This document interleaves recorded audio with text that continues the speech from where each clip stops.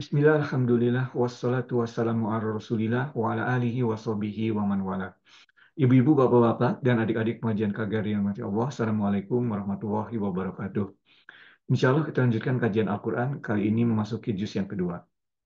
Allah SWT bersabda di surat Al-Baqarah ayat ke-201, bahasa Indonesia saja ya, dan di antara mereka ada orang-orang yang berdoa, Ya Tuhan kami, berilah kami kebaikan di dunia dan kebaikan di akhirat.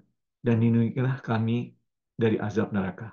Surat Al-Baqarah ayat yang ke-201. Maha benar Allah dengan segala firman-Nya. Nah, ini insya Allah doa yang paling sering kita lapaskan. Ya, Rabbana atina fid dunya hasanah wa fil akhirati hasanah wa qina adzabannar. Dan kali ini kita akan melihat konteks doa ini. Ya, Doa ini konteksnya sebetulnya ibadah haji. Ya, ayat ke-200, ayat yang sebelumnya, Allah SWT menyinggung orang yang sedang melaksanakan ibadah haji, kemudian mereka berdoa, tapi doanya semuanya tentang dunia. Ya, minta pekerjaannya lancar, eh, apa namanya, pendidikannya lancar, atau bahkan juga bisnisnya lancar, atau mungkin juga memperoleh jodoh dan sebagainya, sebagainya. Semua untuk dunia. Ya, tapi mereka lupa meminta akhirat mereka. Nah, minggu lalu kita melihat ya eh, Nabi Ibrahim eh, berdoanya ya ingin menjadi atau ya ingin dan juga keluarganya menjadi orang-orang yang muslim yang berserah diri kepada Allah ya menjadi orang-orang yang bersyukur ya ada dalam Al-Qur'an yang para nabi memintanya doa seperti itu. Jadi eh, singgungan Allah di ayat ke-200 ini kepada orang-orang dan ini konteksnya ibadah haji karena ini eh, walaupun berlaku umum, tetapi dibikin dibuat konteksnya ibadah haji karena ibadah haji itu penuh effort ya. Biayanya tidak sedikit, usahanya juga berat, tetapi ujung-ujungnya pada meminta doa hanya meminta doa dunia. Ya sebetulnya minggu lalu juga ini ada ada sedikit reminder dari imam di masjid di Calgary ini ya mengenai hal ini. Nah, di ayat yang 201 Oh maaf ya. Kemudian di ayat yang 200 itu setelah menyinggung itu Allah SWT menyebutkan mereka orang-orang yang doanya terfokus pada dunia itu tidak mendapatkan sesuatu di akhirat nanti. Ya. Nah, di ayat ke-201 Allah SWT mengajarkan bagaimana cara berdoa yang baik ya. Itu doa yang insya Allah sering kita lapaskan ya. Waktu Irfan naik haji juga doa ini dibilangnya doa sapu jagat ya dari pembimbing hajinya. Jadi Rabbana atina fid dunya hasanah. Ya Allah, jadi general, ya apa pun yang Allah akan berikan kepada kita sepanjang itu baik untuk dunia kita, kita minta. Kemudian kebaikan di akhirat, wafil akhirat hasanah. Apa pun yang untuk kebaikan akhirat kita, kita serahkan pada Allah dan kita minta itu. Ya. Wakina azabannar. Jadi dunia satu ya, Rabbana atina dunia hasanah. Tetapi akhiratnya ada dua. Wafil akhirat hasanah dan wakina benar. Nah, ini sedikit saya. Kenapa kok nggak cuma uh, pertama tadi dua banding satu ya. Jadi akhiratnya dua, dunianya satu. Jadi perbandingannya seperti itu karena kita hidup uh, kita ada di akhirat nanti. Itu doa yang baik.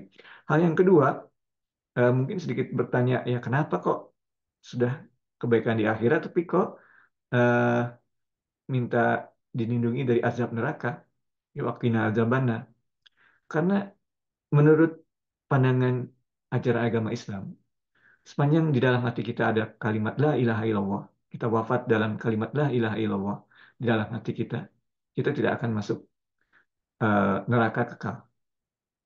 Tidak akan masuk neraka secara kekal.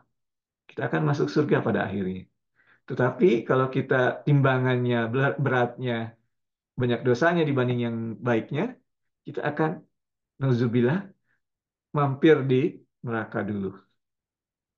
Ya, dibersihkan kemudian baru masuk surga. Ya. Nah, itu ada ayatnya ya di surat Maryam ya. Jadi eh, dia meli eh, ada ada ke neraka dulu kemudian ke surga ya. Itu menurut tafsir para ulama. Makanya ini Rabbana atina fid dunya hasanah, oke, kebaikan dunia. Kemudian di akhiratnya wa fil akhirati hasanah dan ya Allah lindungi dari azab neraka. Pingin langsung ke surga, ya. Ya, jadi tadi poinnya ya, dua banding satu.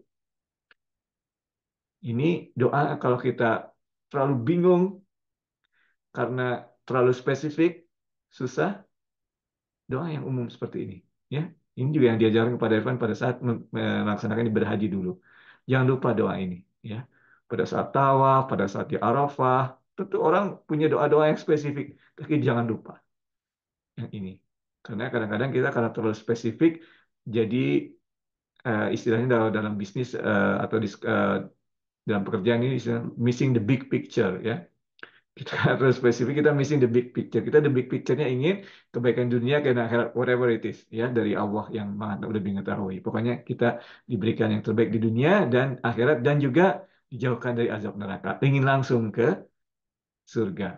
Nah demikian. Uh, ibu-ibu bapak-bapak dan adik majan kalian mati. Allah kajian kita pada kesempatan kali ini uh, ayat ke-201 di surah Al-Baqarah doa yang sangat uh, familiar ya buat kita dan semoga dari kajian ini uh, sebagai pengingat terutama bagi Irfan sendiri dan juga bagi semuanya, insya Allah ada manfaatnya bahwasanya kita dalam berdoa kita harus uh, memfokuskan lebih banyak ke akhirat.